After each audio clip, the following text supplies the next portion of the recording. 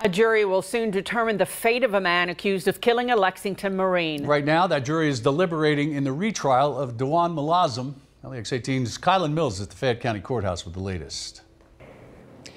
Kevin, Nancy, good evening. The jury has been deliberating for about half hour now here inside of Fayette County Circuit Court. Earlier today, they heard closing statements from both sides, and now ultimately the jury will decide whether Dewan Malazem is guilty of killing Jonathan Price.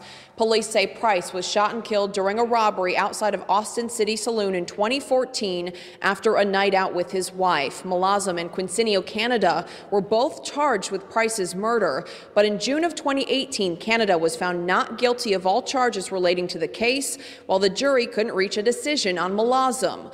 Both were found guilty on unrelated robbery charges. Malazem is now being tried for a second time in connection with Price's death, and this trial has been going on for weeks. The closing arguments alone took several hours this afternoon, and the courtroom and building quickly emptied when the jury went out to deliberate. Many of the attorneys going out to get food, preparing for this to be a long night. So far, no update from the jury, but we'll bring you the very latest tonight at 11. For now, we're live in Lexington. Kylan Mills, LEX 18 News.